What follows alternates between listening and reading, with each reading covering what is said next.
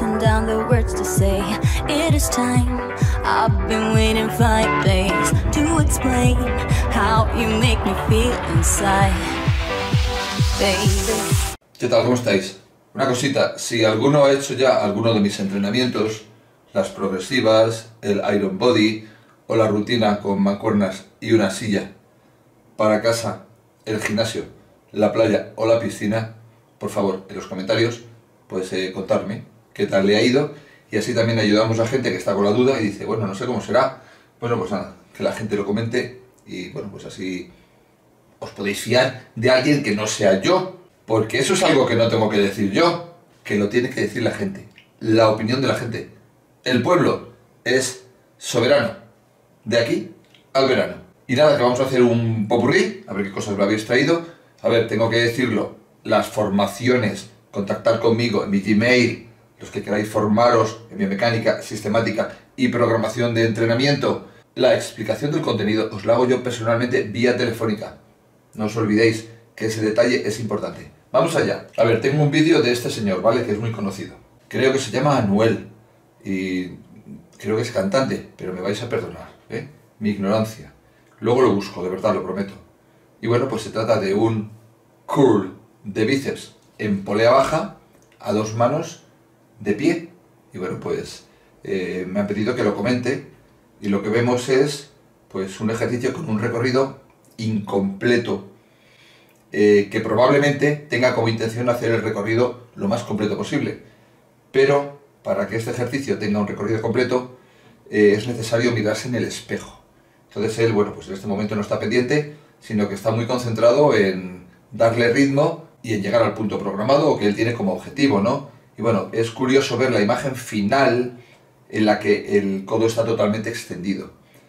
Y yo estoy seguro de que a él le falta la percepción de lo que estoy explicando. A ver, ese movimiento parcial es útil y vale más que estar eh, por ahí en casa eh, jugando a la Play. Aunque jugar a la Play es muy divertido. Pero evidentemente eh, yo bajaría hasta abajo a no ser que quieras hacer un recorrido parcial. Pero me da la sensación de que no es así porque eh, prácticamente estira del todo. Eh, también hay un movimiento hacia atrás del codo en el que lógicamente todavía pues, se pronuncia más ese acortamiento en la ejecución y además hay un poquito de impulso. Pero sigue siendo útil así, ¿ok? A ver, hay detalles, el control de muñecas es bueno, eh, el control es lumbar, se nota, está genial, ¿vale? Como nos sirve para entender que el control abdominal ahí iría en contra del gesto, que él necesita poder tener la postura erguida para trabajar de esa manera, con ese ligero balanceo e impulso. Y por lo demás, bueno, pues que yo creo que lo podría mejorar. Lógicamente, si hace recorrido completo, no podría ir tan rápido. Se nota que a él le gusta entrenar rápido, que se siente bien. Y bueno, pues el final de la serie, como veis, es un final de ¡guau! Ha sido duro. Pero todos nos quedamos ahora con la sensación de que podría haber hecho otras 6, 8 repeticiones, parando abajo, de una en una, despacito, y llevando pues el ejercicio a un límite que le iba a proporcionar una mejoría en esos brazos que, bueno, como se ve, pues están ahí en proceso de formación. Entonces yo, a ver, ¿qué le voy a decir a este señor? Pues que creo que se podría hacer mejor, pero que su ejecución pues nos vale, nos vale para progresar, pero os aseguro que bajando hasta abajo, llegando al límite, eh, controlando un poco más la negativa, sobre todo por eso, porque hay que llegar al límite. Y si llegas al límite sin control de la negativa, tiendes a dislocar. En este ejercicio no hay riesgo de dislocación, por lo tanto, desde ese punto de vista, es más seguro que llegar hasta abajo descontroladamente. Pero bueno, son muchos matices y me quedo con lo, con lo positivo, que es casi todo, ¿eh? Curiosamente, vamos a por otra cosa. Charlton Banks. Pues tenemos un día raro hoy, ¿eh? Atentos. Perfect Your Technique. Stiff Leg Deadlift.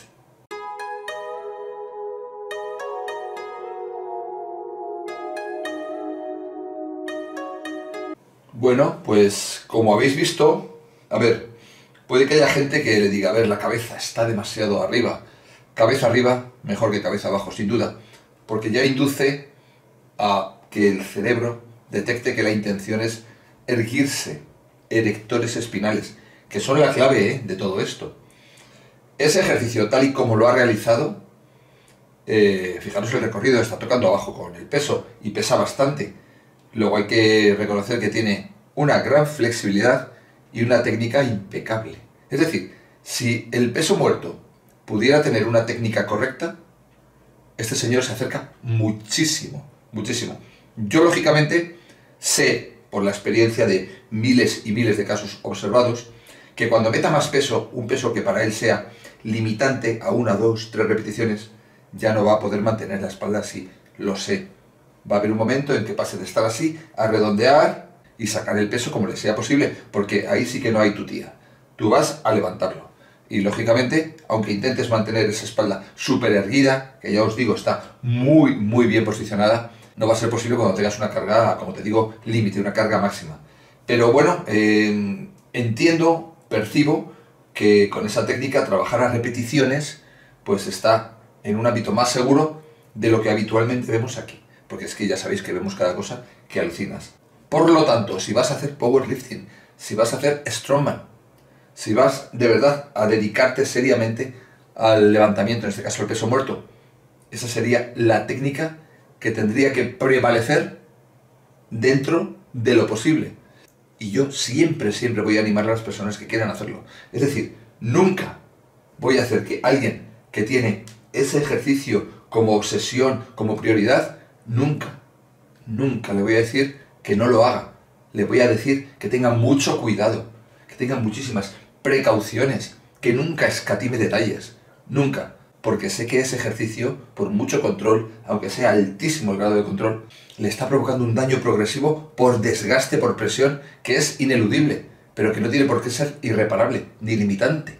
Cuando la persona sabe hasta dónde, en qué punto tiene que decir, eh, este es mi límite, esa situación limitante debería servirme de información, información que bien interpretada, pues a lo mejor eh, consigues eh, hacer peso muerto durante mucho tiempo sin que el daño sea irreparable y que puedas vivir para contarlo. Pero ya te digo yo que, que es complicado, es complicado encontrar a alguien con esa técnica, por lo tanto nos congratulamos y bueno, pues que sirva de aprendizaje, insisto, por si alguien lo va a hacer.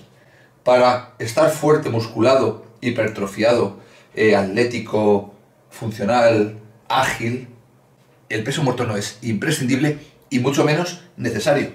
Millones de atletas han desarrollado carreras impresionantes sin utilizar el peso muerto, que ahora se ha puesto de moda porque unos cuantos indocumentados, y lo digo así porque es la realidad, porque aunque ellos se piensan que sí están documentados, no están documentados, están mal documentados. Luego, si queréis, lo dejamos en mal documentados, aunque me gusta más indocumentados. ¿A ti qué te gusta más? ¿Indocumentados o mal documentados? Y bueno, Sex, Drugs and Powerlifting, este creo que no nos va a gustar, pero para terminar está bien, ¿vale? Ver el otro lado de la moneda. Listos.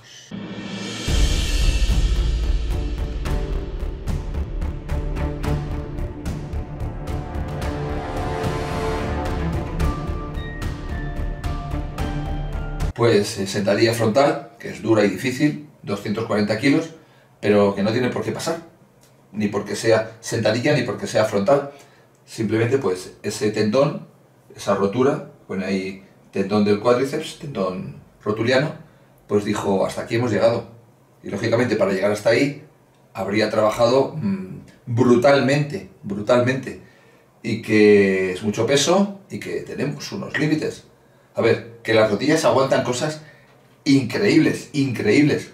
Pero en este caso, con un, como has visto, un rango de flexión muy normal y muchísimo control, ha reventado. Y bueno, pues nada, estoy seguro que este señor estará deseando eh, reponerse para, para, volver a hacerlo, porque es así, es que lo llevamos dentro y no es que no aprendamos, es que eh, la pasión está siempre por delante del, de la razón. ¿Cómo estás tú? ¿Cómo manejas esto? ¿A ti te domina la pasión o la razón? Cuéntamelo en los comentarios. Iron Masters Forever. Gracias. Vamos a demostrarte lo que somos capaces. Sin pensarlo únete, somos Iron Masters Iron Masters, Iron Masters